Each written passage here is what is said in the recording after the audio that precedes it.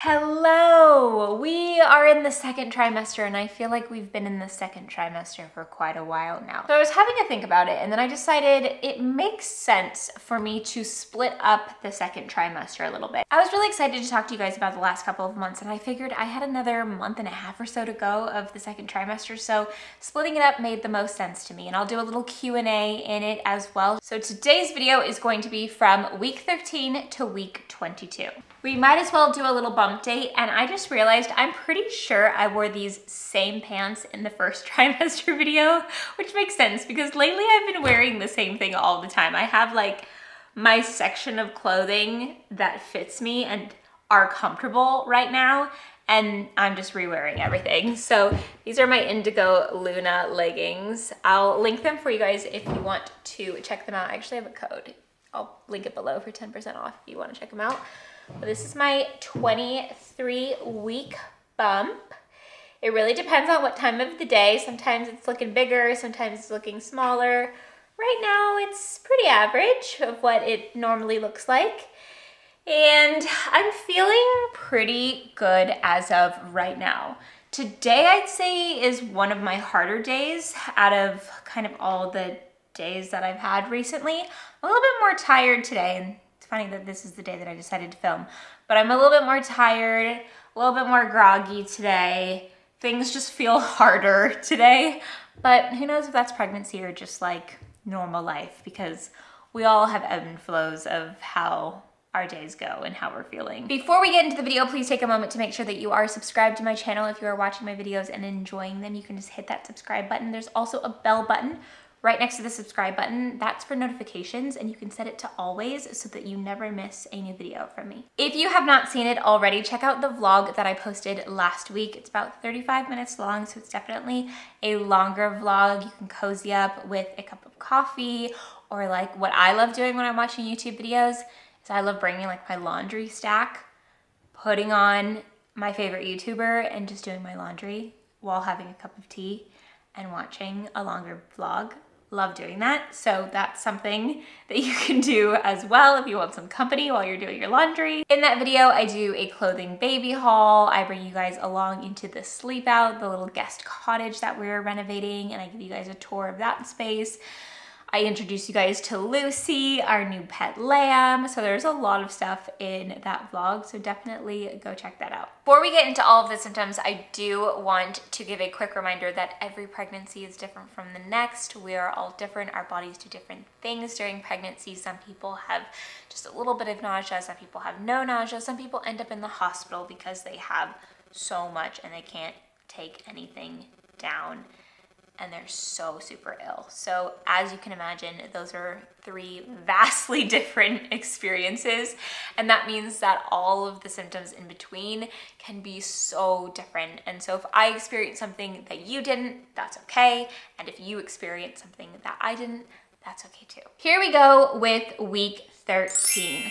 The first thing I wrote down was on and off nausea, queasiness is still sticking around, uneasy tummy. And this was really interesting for me because a lot of people told me that once the second trimester comes around, I'm gonna feel a lot better. And that did not happen for me. It eventually got better. Now I'm not nauseous anymore. And every once in a while, I just get that little feeling again of it. And I'm like, please don't come back, please don't come back. And it hasn't come back full force. I just get little moments of it. It's not bad at all. It's very mild, but I was still getting it pretty full on in week 13. And I remember just being a little bit bummed about that because I was like, I thought it was just going to all go away in the second trimester. And it didn't just magically all go away right then. I did put here that the vomiting reduced this week, but it did happen once or twice. So it seems like my nausea was still sticking around. My vomiting was getting better, but was still around as well. Scent is still superhuman this was something that was continuous. And it still lingers, the sort of superhuman scent that sounds amazing, but actually you don't want it. it sounds like a superpower, but a superpower that you don't want because being able to smell everything and even some things you can smell so well that they just smell bad, but they normally, when you're not pregnant, smell good. So it's it's not a fun it's not a fun symptom and that was lingering around. Getting more energy some days and others I am exhausted. So this is something that definitely started kicking off a little bit more. I was not always exhausted as I was in the first trimester. I was starting to get more energy on some days and then the next day I would be completely exhausted. And there was no rhyme or reason as to why some days were better than others. And even now it's kind of the same thing. Like when I woke up this morning, I was so tired and there was really no reason why I should have been so tired in particular this morning because the rest of the week I was waking up with energy and I didn't do anything last night that would have made me more tired this morning or anything like that. It's just with pregnancy, what I'm really starting to notice is there's no rhyme or reason to the symptoms. There's no rhyme or reason to the exhaustion. It just kind of happens and it ebb and flows. Some days are good, some days are not so good. And you really can't figure out why or what you're doing that's causing it to fluctuate. And the truth of the matter is that you're really not doing anything that's causing it to fluctuate. Your body is just fluctuating and it's changing and it's doing different things all the time. And sometimes your body just might be more exhausted because it's doing something particular that week that or that day that you don't know about and it's making you exhausted. I wrote mild period like cramping and stretching. That's really interesting for me to look back on because I haven't had period like cramping at all in a long time, but I definitely was getting that in the first trimester around implantation and so on. And it's interesting to see that it was still happening in the first week of the second trimester that I was getting period like symptoms um, in terms of cramping. And then stretching is something that definitely kicked off in the second trimester and has been pretty continuous. Sort of this like stretching feeling around ligament pain and I get more into that as we move forward into the second trimester. Headaches, nipples tingling and burning. These are all things that were happening in the first trimester as well, so I was pretty familiar with them by this point. Congested and tension headache is pretty consistent.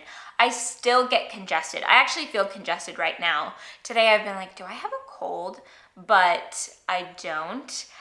I just get congested, I sneeze. Sneezing is a symptom of pregnancy as well. It's pretty common, which is really interesting because I realized I just kept sneezing more. I looked it up.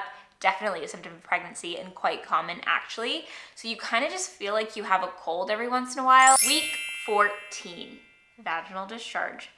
That's one of your TMI, too much information. We're talking about symptoms and we're, we're gonna keep it real here because I just want to be honest about what the experience is like, the good, the bad, the weird. And I remember this being quite shocking because it's kind of the most that I had ever seen, even when I was getting my period regularly and stuff like that.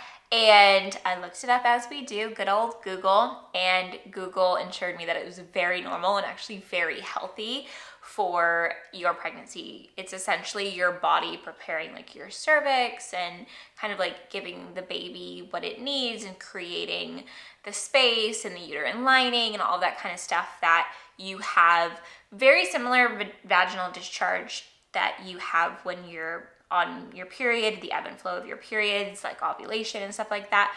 But yeah, watery and um, more than usual. I put that my skin was starting to break out this week, which has been kind of up and down for me, which was pretty normal before I got pregnant anyways. There were days that my skin felt great or weeks that my skin felt great, weeks that didn't feel so good. The thing with pregnancy for me is that my pimples are a little bit more intense. Like there'll be like one pimple and it'll be bigger and it will hurt. Like this one I have on my chin here. I don't know you can you can likely see it, it's very big. Um, and it hurts. It's not very fun, but this is a very hormonal place to get pimples, so it makes sense that's happening. I put a note that we went to the midwife this week and that we heard the baby's heartbeat, which was always so exciting. And I think that this one in particular was exciting because we had just done the 12 week scan a couple weeks earlier. And that was kind of the last time that we checked on baby. And then it was really nice to hear her heartbeat in the second trimester as we moved along. And I think it's really important for me to write down the good and the exciting moments because as much as I want to talk to you guys about the real and raw part of it, the not so fun part, I think it's really important to also talk about the good because there's so many wonderful things about pregnancy. And honestly, just recently I was saying to a couple different people in my life that like I'm really enjoying being pregnant if I'm totally honest. And I'm sitting here and I'm talking to you about all of these like difficult symptoms that are not so fun. But overall, right now, I'm really enjoying pregnancy. And in the first trimester, that was really hard.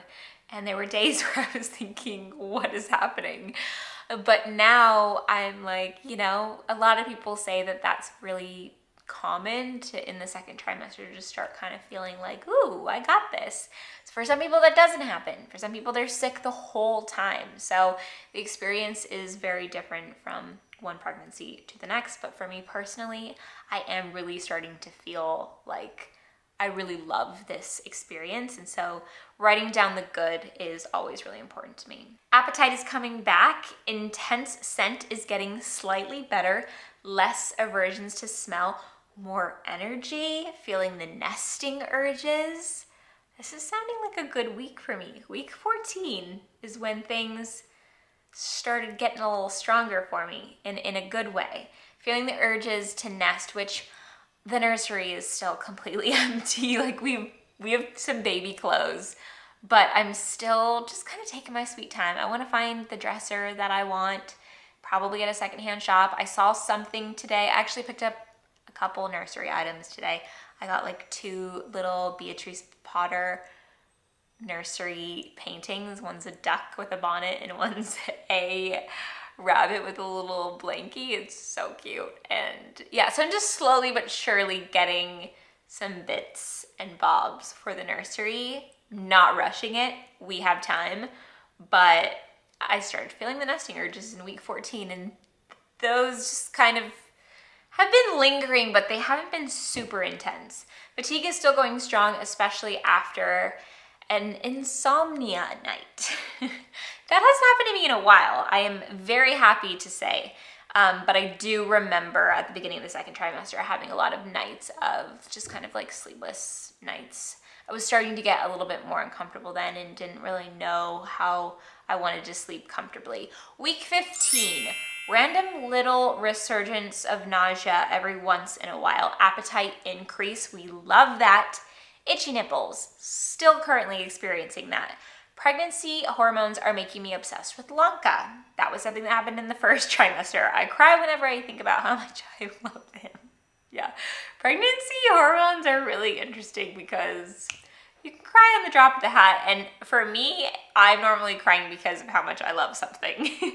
I'm pretty sure I'm feeling little baby flutters. Oh, that's so sweet to look back on because now she's moving and wiggling everywhere. It's almost feeling kind of normal to me now, but I will say that I love every single second of feeling her move. Any kick, any movement, I feel a lot of it lately. She, I'm, I feel like I'm starting to understand when she sleeps and when she's awake and stuff like that. I honestly wish I could feel her all the time. Um, I guess be careful what you wish for because maybe I would start getting annoyed by that. But I love feeling her move. It's my favorite thing. So just hearing that I started to feel like the little flutters and it that I'm, I'm pretty sure I wasn't like now I know for sure when I feel her but um, being able to start feeling her at week 15 is so sweet. Still gagging when I brush my teeth. Yeah, I think I mentioned this in the first trimester, but that's still a thing for me. It's not every time, but sometimes when I'm brushing my teeth, it's just a random gagging reflex because your gag reflex is a lot more like intense when you're pregnant because of the esophagus kind of like loosening up. There's like a, uh, you know, I'm not a doctor, but from what I understand, there's um, a like bit, I don't know what it's called, in the top of your stomach that is open now as opposed to closed. It has to do with your esophagus. And it, that's what makes the acid reflux so much worse, but it's also what makes your gag reflex a little bit more intense. Week 16, constipation is coming back. So I think I had some relief for a while and then week 16 just brought it back. I will say that it comes and it goes and then it comes back and then it goes. It's still like that for me now. Some weeks I don't even think about it and then some weeks I'm like, oh, hi, you're back. So that's still pretty consistent for me now. Starting to expand at my ribs now. Yeah, I started to actually feel like my bump moving outwards here as opposed to just being like below down here. I started feeling it going like outwards here and I could almost like see it where my ribs were that my stomach was starting to push out that way and then I put very, very tired, and then round ligament pain on my right hip. And I remember this lasting for a couple days at least. Um, round ligament pain is something that I know what it is now because I thought I had it before, but now I definitely know that I've experienced it. Um, in the second trimester and it's sort of like this stretching like if you get up too fast especially like that's when it happens the most, then you feel this stretch and it's a pain, almost like a rubber band. It feels like a rubber band snapped. And you just kind of like gotta like ease out of it and just like breathe it through and just trust that it's okay and that it's, uh, you know, it's something that is common to experience. But sometimes when I felt it, I'd be like, oh my gosh, is everything okay? And I would like walk a little bit and then it would just start to feel better. Week 17, feeling her move and feeling her little kicks this week, which is just so cute and exciting. Because I remember when I really started feeling the kicks and the movement, I was so excited about it. And they were just weak enough at week 17 where nobody else could feel them but me. And I got to the point this week where I knew that it was her. Cause like when you're just starting to feel the flutters at first, you're like, is that gas? Is that, or is that the baby? And then once you actually feel a kick, you're like, that is something I've never felt before. That has to be the baby. And then I put vivid dreams, which is still consistent. Sometimes I don't remember any of my dreams, but every once in a while I wake up and I'm like, whoa, that dream was crazy and I remember it perfectly heard her heartbeat again this week at the midwife appointment. She was kicking the Doppler. Yeah, this appointment was so cute. When she kicks the Doppler, like the midwife was like trying to find her heartbeat and she found it, but then baby was like, get out of my space. Um, she was essentially just like kicking the Doppler back, which was really cute. Taking up my space. Oh, that's how cool that was she at. Oh, that's mum, that's, that's the, you. Like this was, yeah, that's I'm much more relaxed this one. Yes, you are. Because I've been feeling feel her. This morning I did, so I was like, okay, she'll be there today. yeah. Oh, that's good.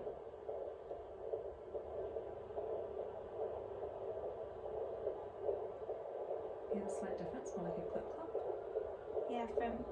So from one was like whoosh, whoosh, whoosh, whoosh, and that's one's got the there. Yeah. So both are her heart rate, but one's her heart rate through the cord, and that's right over her heart. Got it. So that's actually her over her heart.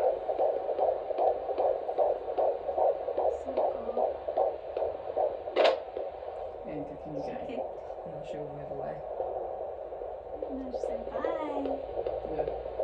Like, leave me alone in here. I just want to be at peace.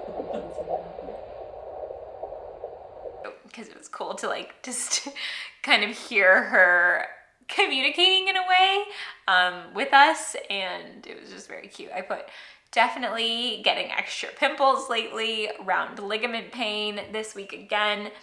Alex felt her move for the first time this week. It was very faint, but he could feel it.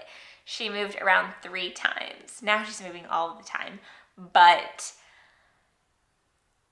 so cute to have Alex feel. He still feels it like all the time. He'll just come over and like put his hand on it and he's like, it's just still amazing to us. Week 18, best I've felt yet. Woohoo! Bump is bumping. Feeling a lot more symptoms this week, little kicks and flips. When I started feeling the flips, it was really cool. I feel like this is something that not, and maybe, you know, the truth of the matter is that not every person, not every pregnant person feels kicks and movement the same way. I know some people that said that they've never felt, they never felt movement until the very end. I know that it really depends on where the placenta is placed. So there's anterior and posterior placenta. And if it's anterior, I think I'm saying that correctly, then it's between your like your skin and the baby is your placenta. And so the baby is just essentially kicking the placenta. And so you're not gonna feel it as much. So it really depends. My placenta is posterior, so I can definitely, I can actually, now I'm starting to see her kicks. Like if she's kicking hard enough, I can see my skin moving, which is pretty crazy. Round ligament pain again this week, electric shock nipples, which is something that I talked about in the first trimester symptoms video. I think I called it lightning bolt nipples, where it's just like, you just feel like a shock to your nipples. Hips and lower back hurting this week. This is something that comes and goes, and I'm pretty positive it will come and go through the entire pregnancy. Right now, I'm not experiencing it, which is great, but who knows what tomorrow holds. Week 19, so tired again. Constipation is coming back. Week 19 flew by. That's all I put for week 19. Week 20, first morning of week 20 the most beautiful moment in the car, driving down our country road, lambs jumping in the pastures all around us. It was a blustery cold morning, but the sun was starting to shine. Alex put on Alexandra Stréliski Plutu. I'll put it on the screen because it is a beautiful song. I'm remembering it. I haven't listened to it since then, and that was the first time that I heard it, but it was beautiful. It was essentially a song that made life feel like a movie. And I think I posted it on my subscribers only Instagram post and told people to like go on a walk and listen to the song or on a drive because it made life feel amazing like a movie. And that's how I felt in this moment. So I wrote it down and now I'm sharing it with you guys. And then I put, there was a rainbow in the sky, a tear of joy streamed down my face. As you guys know, I've shared with you that we experienced loss before this pregnancy. So rainbows, of course, because she's our rainbow baby, are really significant to us. And I know for so many people who have gone through the same thing. So there was a rainbow in the sky, a tear of joy streamed down in my face. Life felt like a movie at that moment. These are the moments in life I decide not to record. Weirdly, have been having several days of. And then I like left it. I don't know what I was gonna say there, but I do remember this moment very vividly and perfectly and the feeling that I had in that moment because I just felt so thankful to be in that moment that we were in. I think we might have been driving to, we were, this was the first morning of week 20. So we were driving to our 20 week anatomy scan, which ended up being a great scan. Everything was good with baby girl. And seeing a rainbow in the sky on our way there was such a beautiful symbol. And it was um, a lot of reassurance and I just remember in that moment thinking like this is the rainbow after the storm. This is like the the beauty after the hard times and I just remember feeling really really happy and grateful in that moment and that is all I put for week 20 because I think after the anatomy scan I was just on a high that week of just feeling like I can't believe we're here that like we're here. And um, it just felt really special. And I'm really glad I wrote down that moment because I think it's, like I said before, it's so important to remember all of the good because it is a magical experience, even though there is hard things that we have to go through, that our bodies have to go through. We still, I choose to still remember like the magic in it because it is magic. Like, just, I feel the same with like growing your own food you know, where you're just like, you're starting with a seed and then you grow something and then you can eat it. It's amazing. It's magic. and I know it's such a simple thing, but it's always been something that I've thought was so cool. And like, that's how I feel about pregnancy. And I've always thought that before even experiencing it myself. I remember being so young thinking, like I've said before, I think I mentioned this um, when I did the announcement of just saying like, I've always thought pregnant women were like superhuman. They're superheroes. It's amazing. It's such an incredible experience. And so I just remember to always keep that in mind, even when I'm having a hard time. Week 21. Woke up to lower back pain. I think I overdid it yesterday. So I normally get lower back pain if I'm doing a lot of house chores, honestly. I wish it was something more exciting, but if I'm doing laundry, vacuuming, taking care of the house. Like sometimes I go through these like cleaning surges where I'm like, I have the energy to clean. I'm just gonna go for it. And then the next day I'll be like, ooh, I think I overdid it. I'm starting to feel very connected to her. I already love her so much. That is still a consistent thing I feel now. I it's crazy that I I felt connected from the beginning, if I'm honest, but I, that has just gotten even more and more intense as the weeks go by. I ended this week with lower back pain is consistent this week, which lets me know that I was experiencing lower back pain pretty much the whole week because I started it with that note. But then week 22, it says lower back pain is gone, which is great. Craving sweets, chocolate, and candy. I have been craving sweets so much more lately as of like that was week 22 so week 23 as well craving sweets i'm in the craving sweets era of my pregnancy i want like today I had a muffin that had like strawberry banana and dark chocolate and it was everything. Yesterday I had a chocolate chip cookie. Like I really love like sweet sweet baked goods right now and that's what I crave. I have like a little bit of caramel chocolate in the kitchen so every once in a while I'll like especially after dinner I'll eat like a couple cubes of like caramel chocolate. I crave ice cream. I'm trying not to go crazy with it all because too much sugar, as we know, is not good. But um, I definitely have been like wanting sweets more than usual. And I've definitely been letting myself do that because it's just baby telling me, she's like, we want sweets. And I heard that it's really common when you have a girl to crave sweets because I'm not normally a sweets person. If I'm honest, like I love banana bread and chocolate and things like that. But I don't normally crave sweets as much as I crave like savory, spicy foods and stuff like that. But lately, I will choose a sweet over anything. Appetite is increasing. You can probably tell just by me telling you how much I want sweets sharp round ligament pain when I stood up quickly today. Yeah, that one scared me.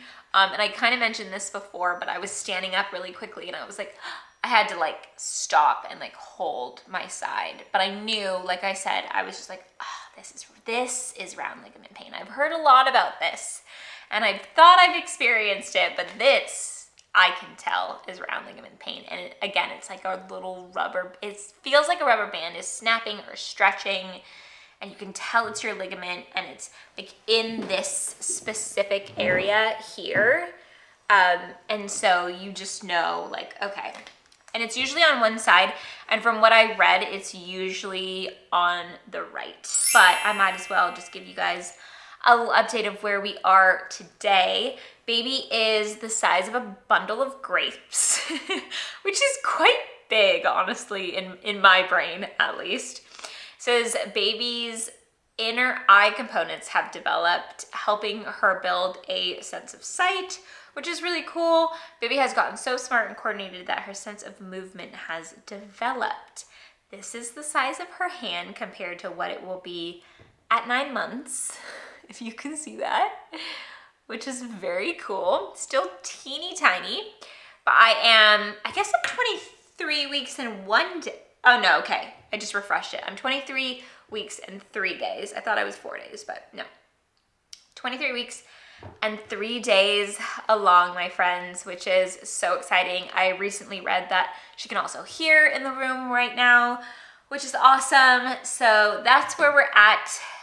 As you guys know, today I'm feeling a little bit a little bit more tired than I've been feeling, but I also think that's because a lot's been going on. We're actually going out of town tomorrow morning, and I'm definitely gonna vlog our trip. We're going to Taupo, and then we're going to Auckland um, for a work thing, but the Taupo, will, we will be seeing family, and then we're gonna go to Auckland, and then we'll be back and then we have a midwife appointment right when we get back. Because I guess I thought that this video just wasn't going to be long enough, I asked you guys to send in questions yesterday. I'll do a little bit of them here so I don't keep you guys for too long. But if you are still here, thank you. Let me know in the comments below that you're still here. Give this video a thumbs up if you're still here because that means that you're enjoying this. Um, I hope. I hope you wouldn't watch it this long if you're not.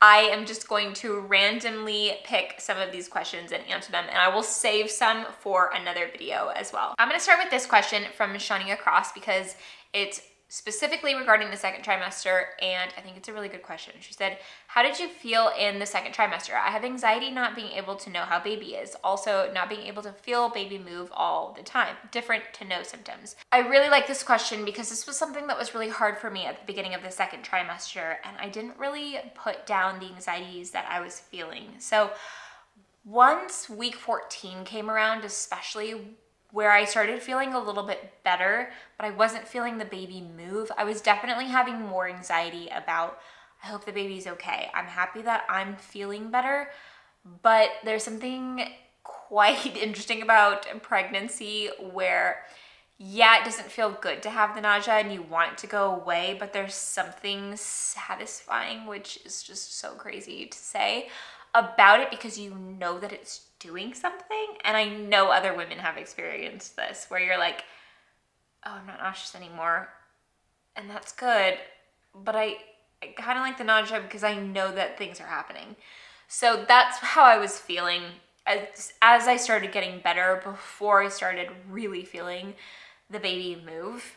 And I know that a lot of people don't even feel movement until like 20 22, 23, even further down the road. And so that is quite a long time of just having to trust that everything's okay because you're feeling better and there's really nothing telling you that the baby's okay and you're not getting as many scans as you were at the beginning and you're not having a heartbeat with a Doppler as often or anything like that. So you really are in this phase of like, I hope everything's okay. And I think the way that I dealt with it was to just like recognize the anxiety about it and to just accept that I felt this way and to realize that it's because I care and that's a beautiful thing.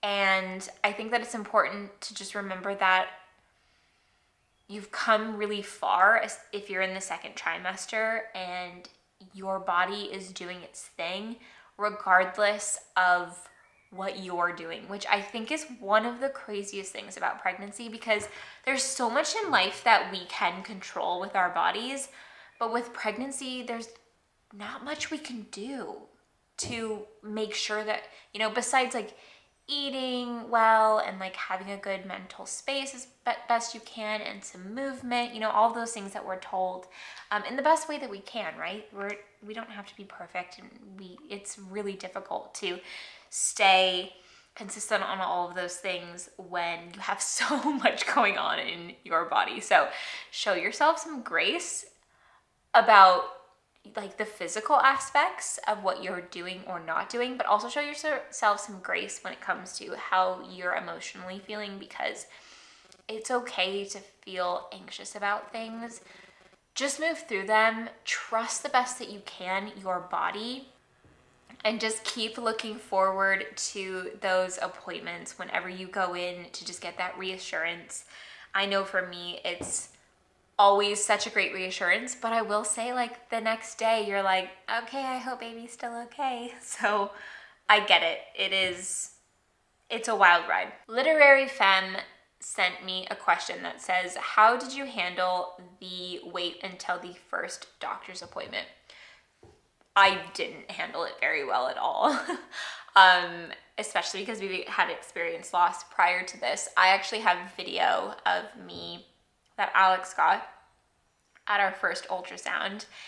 And it, it just feels like the longest time to have to wait. We waited till week seven and we found out we were pregnant at week three and a half. So it just felt like the longest time.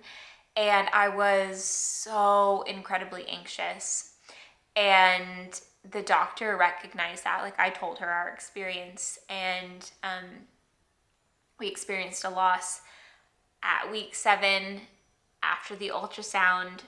So it was really nerve wracking for me. And I honestly don't have tips on how to not feel this way because I felt so anxious and so scared. And I can show you the video here of like how I felt. And thank you. it's okay. You're totally fine. That's, that's exciting. It is very exciting.